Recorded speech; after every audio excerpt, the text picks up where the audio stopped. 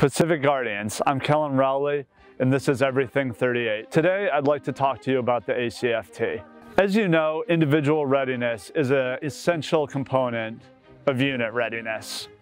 And to that end, the Army has launched the ACFT. As you might have heard, the ACFT 3.0 recently was introduced in the last couple of weeks. You might have seen the changes on social media or heard about them from your leadership. One of the major changes is the introduction of the plank event, which can be done as an alternate to the leg tuck event.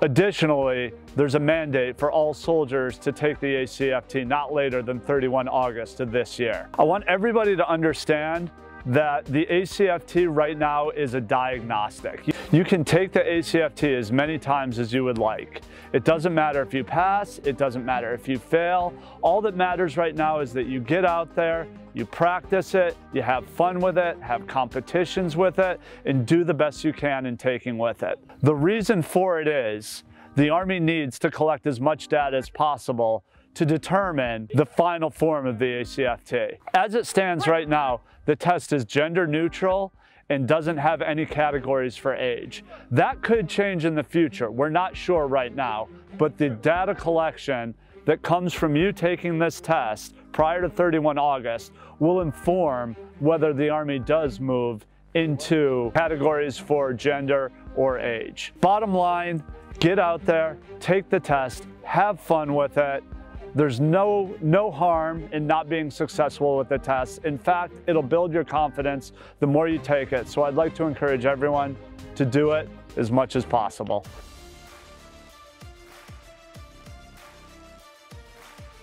Good morning, First Sergeant. Ohio gozaimasu. What do you think about the ACFT? I freaking love it. Absolutely love it. There you go. And why is Free that? PT. Okay. I think the ACFT is definitely an improvement, better than the APFT. You incorporate more uh, muscles rather than just the push-up and sit-ups and the running run I think it's more inclusive. Uh, I know in the beginning there was a problem with a lot of people who weren't able to pass certain events, and uh, you know I think these changes they made kind of uh, too, and uh, I think it's, it's come a long way since they've started. The improvements I saw with the ACFT basically was them tailoring to people who whose body uh, composition or their physical abilities couldn't compete with things like the leg tuck or even possibly making a, a 12 minute two mile run after all the events were completed. They did adjust the standards for the sprint drag carry as well. So they're tailoring to what soldiers can actually do.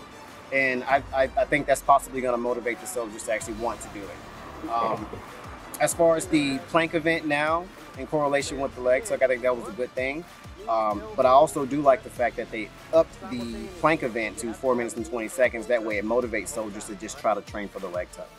1503, four, five, six. Thanks for joining us for this episode of uh, Everything 38 by Valor and Power.